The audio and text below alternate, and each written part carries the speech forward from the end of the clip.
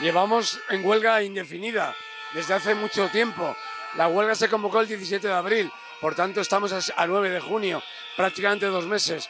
Estamos reivindicando simple y llanamente que se reconozca por parte del Ministerio de Justicia y del Gobierno en su conjunto los derechos de las trabajadoras y trabajadoras de la Administración de Justicia.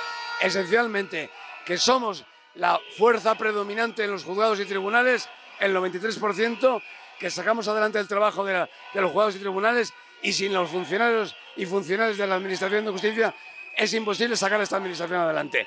Exigimos al Gobierno que negocie y a la ministra de Justicia que dimita de una vez porque ha sido incapaz de resolver el conflicto. Este conflicto va a continuar hasta que se reconozcan nuestros derechos.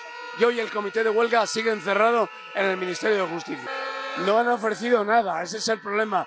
La denuncia se pone porque han incumplido la ministra de Justicia con su obligación legal de negociar con el comité de huelga. No ha negociado y por tanto está incumpliendo con la ley. La ministra de Justicia incumple con la ley. Eso es intolerable y incomprensiblemente este gobierno que se dice liberal y progresista pues no atiende a un servicio público tan esencial como es el que la ciudadanía recibe de los juzgados y tribunales.